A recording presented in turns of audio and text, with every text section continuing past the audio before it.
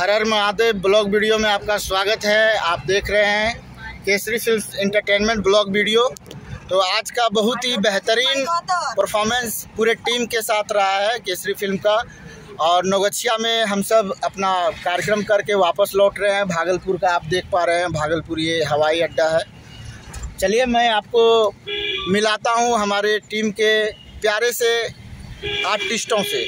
जैसे ये देख लीजिए आप, ये राखी जी हैं सॉरी मज़ाक नहीं, ये राखी जी हैं और ये काजल जी हैं मास्क लगा के। और नेहा जी हैं मास्क लगा के। राज है और ये चांदनी जी है, सोई हुई। हाँ। हाई कर दीजिए आप सब। हाँ। बहुत बहुत धन्यवाद दोस्तों को जो भी इस वीडियो को देख रहा है। और ये हमारे भाई हैं, मित्र हैं, जो कि मुझे छोड़ने के लिए भागलपुर जा रहे हैं। बहुत अच्छा लगा।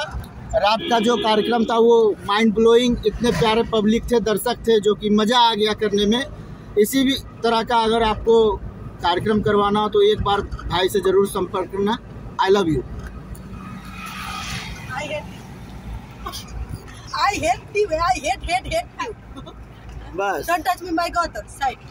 अच्छा ये चौताली जी हैं अगर इनके बातों को आपको थोड़ी भी तकलीफ़ हो तो पूरे टीम के साथ हम आप दर्शकों से दर्शक हमारे भगवान होते हैं। अच्छा हमारे दर्शकों से भागलपुर के दर्शकों से क्या कहना चाहेंगे? चौताली जी आप? आप इतनी दूर से आई हुई हैं बताइए कुछ कहना चाहेंगे अपना एक मैसेज भागलपुर तेरह से तेरह जाएँगे। भागलपुर में ज़ीरो माइल में खड़ा हो ओ अच्छा। ठीक है दोस्तों ऐसे हम सब मस्ती करते रहते हैं। ज़िंदगी क्या है?